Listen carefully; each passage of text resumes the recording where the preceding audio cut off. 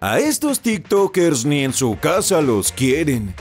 Esta botella nomás hay dos en el mundo. Una la tengo yo y la otra la tiene el Papa en el Vaticano. De este whisky nunca lo vas a probar. 30 mil años antes de Cristo.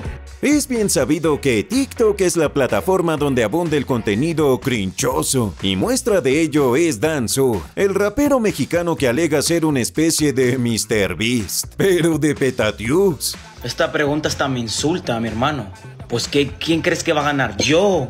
¿Quién ayuda más a los necesitados? Yo también lo hago, amigos, pero no lo hago público porque solamente lo tiene que saber Dios. Este Ricitos de Oro se ha ganado el repudio de varios gracias a su enorme soberbia, puesto que no se cansa de mostrarle a todos sus lujitos, mismos que muchos han desestimado diciéndole que las cadenas que se carga en la cabezota son más chafas que estos tenis. Incluso, uno que otro sapiente le ha comentado que tanto oro falso ya le afectó el cerebro. Cuando voy a la peluquería y me crece, me lo cortan con esto. Ah, esto me va a doler, esto me va a doler. Aquí son más de 100 mil dólares. Cabe mencionar que aunque parece que usa un peluquín de metal, no es así. El hambre que tenía de fama era tal que decidió incrustarse ganchos en la cholla para brillar de alguna manera. Pues recordemos que con su talento vocal, nomás no sobresalió. Tan alucina es el tipo que jura y perjura tener la cabellera más cara del mundo. Si faltarle al respeto a Bad Bunny y al Alfa, yo tengo tres Bugattis en la cabeza. Ahora, para lavarse la cabeza, en vez de champú, se tiene que echar abrillantador de metales. Qué raro todo. Además, afirma ser íntimo amigo de Anonymous, hacker que, según su realidad alterada, le ha ayudado a doxear a sus detractores. Ya te tengo bien localizado, ya sé dónde vives, ya me sé la contraseña de tu celular, de tu computadora, hasta de tu lonchera. Sea o no verdad aquello, lo cierto es que ahora hasta se quiere postular a la presidencia, con la promesa de que va a pagar la deuda externa de México. Voten por mí este 2024 para presidente de México y se lo juro que la voy a pagar. Aquí estamos locos, todo, todo, todo. Que aquí estamos locos, todo, todo, todo. Seguro alguna vez te has encontrado con un video de Annie Sema, chica que se popularizó en internet gracias a este meme. Bro, un IQ mayor al promedio. Dicho comentario surgió a raíz de que un usuario se pasó de basado y le dijo que su único talento era ser linda, algo que obviamente le caló a la niña kawaii, ya que luego de convertirse en el reír de las redes, hizo un live en el que, según ella, mostraba la enorme inteligencia de la que se jacta. Yo considero que Dios es artista por ser creador, así que para mí cada artista es un Dios.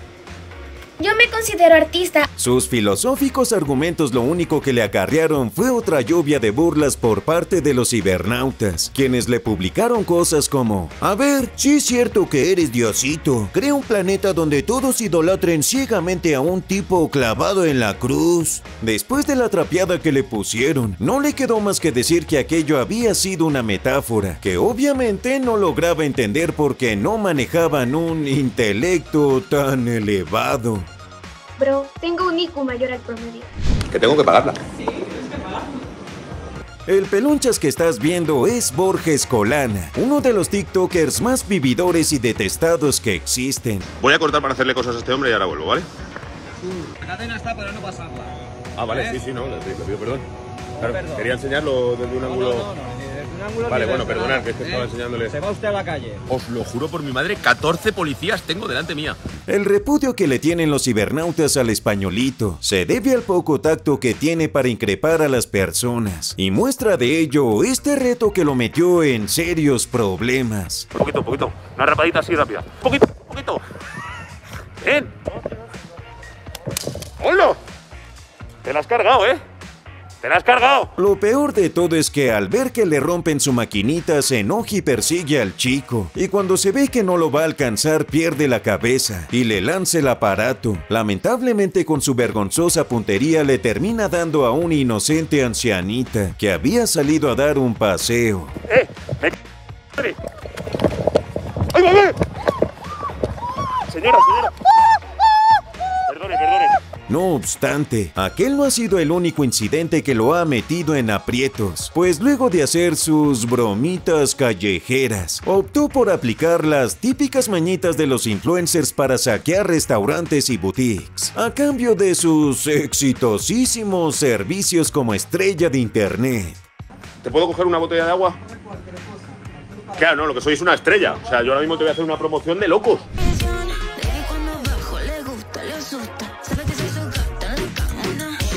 Ella es Ayan Fair, la TikToker más guapa y funada de Chile. A pesar de rebasar los 37 millones de seguidores, la chicuela se ganó el desprecio de muchos, sobre todo de sus amigos. Fernanda sí intentó a Cali con un picayelo. No se puede idolatrar eso, lo digo súper en serio. Dicha acusación en un inicio pareció un chisme para despedazar su carrera, ya que la güerita y Fer habían tenido una confrontación previamente. Sin embargo, a los pocos días salieron otros testigos, incluida la propia afectada, quien confirmó que la chilena no era tan buena como se pintaba en sus videos. Agarró la de los hielos, la pinza con la que agarras hielos, se la puso aquí y se iba a acercar a Cali, güey. ¿Con qué intención? No sé, güey. Me amenazó y me gritó, pinche culia.